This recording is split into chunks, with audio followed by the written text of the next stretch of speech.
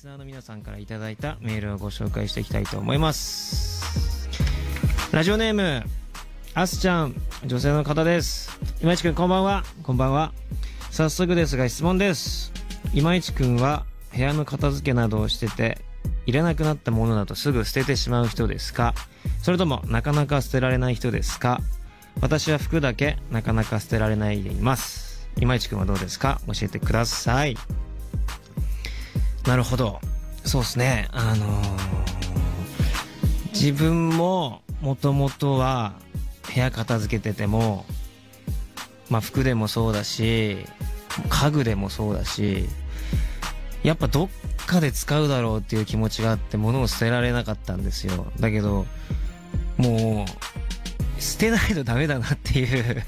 これ捨てないとあの部屋片付けられないっていうところに行きましてだからもう捨てようっていうタイミングがありましてうん。でそれでもう考える時間ももったいないんでなるべくあこれいるかなでも思ってても捨てる方が多くなりましたね。うん。だから毎回部屋片す時はもうビニール袋たくさん出ますね。そうでも服だけはなかなかね捨てられないです。だけど服はあの捨てなくても例えば友達にあげたりとか後輩にあげたりとかねできるので捨てるよりかはなんかあげてきてもらってた方が服も喜ぶしね自分的にも気持ちがいいのでなんかそういう使い道もいいかななんて思います。はい。ありがとうございます。次行きます。ラジオネームえみちゃん。りーさんこんばんは。こんばんは。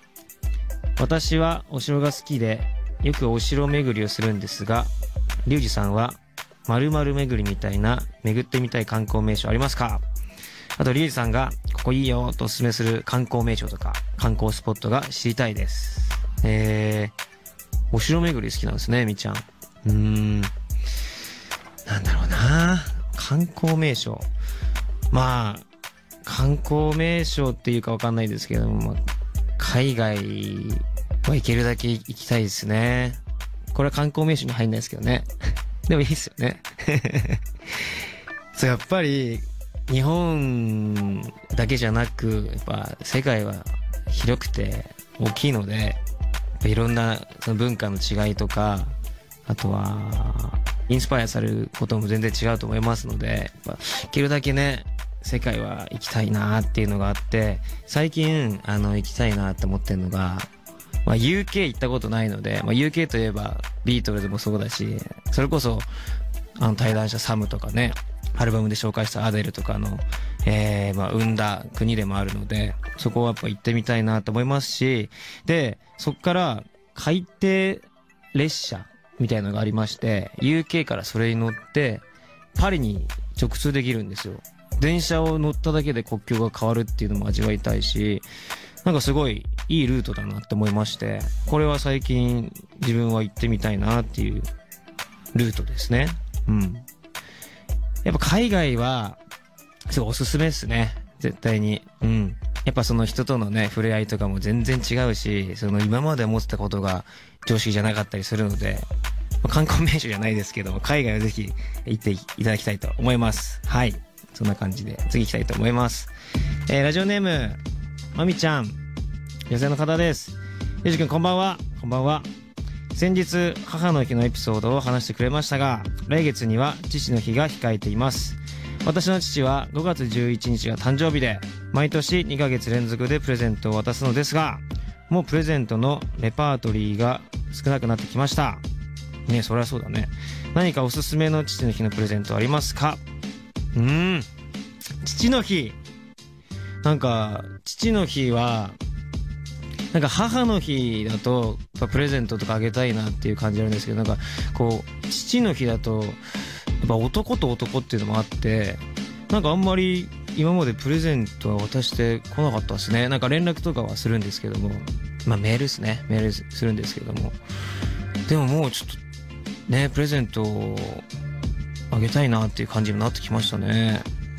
大体スタンダードはネクタイですか？ネクタイとか。あ、パンツ。パンツめっちゃいいんじゃないですか？えー、でも、まみちゃんあげてそうですね。パンツとかネクタイとか。あとは、最近、あの、そうだ。あの、うちの、あの、お父さんはですね、あの、宇梶さんがやってる腹筋マッシンあるじゃないですか。なんか、あれを購入して、家で せっせかせっせかやってるみたいなので、なんかそういうのいいかもしんないです。しかもなんかやっぱあの CM 見てるとちょっとやってみたいなっていう感じはあるんで あれなんて言うんですかね。ワンダーコア。ワ、ワンダーコアおすすめです。はい。ぜひまあ、一つのね、あの、例なので、参考にしていただきたいんですけども。でも、やっぱり、そう、やっぱお父さんっていうのは、本当にすごくて、これ思ったのが、まあ、職人自分前職職人やってたんですけども、まあ、職人やってて周りに、まあ、親方の方とかがいてやっぱみんな大体家族を持っててっていう中で。で、まあ、一緒に仕事してて本当に職人って朝早くから夕方までこう働くんですけどもすっごい体力使えますしもう尋常じゃないぐらい汗もかくし、まあ、職種にはいるんですけども本当に大変でで、まあ自分の中で、休みもあんま取らずに、結構フルで働いた月があって、だけどなんかその時に感じたのが、こんだけ、こんだけ働いたのに、まあもらえる給料ってその日当とかもあるんでね、やっぱ決まってるのがあるので、こんだけ働いて家庭を持ってると、それが半分以上やっぱ、養わなきゃいけないっていうものがあるので、なんか、これは大変なことだぞと思って俺は独り身でこんだけ頑張って働いてだけどやっぱりどんどん好きなことを削って洋服買ったりとかいろんな自分がやりたいことやってったらもうすぐお金なくなっちゃって。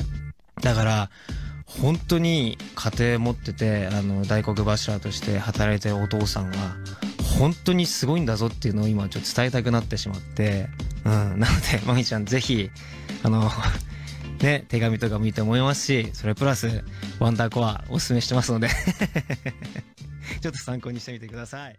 はい。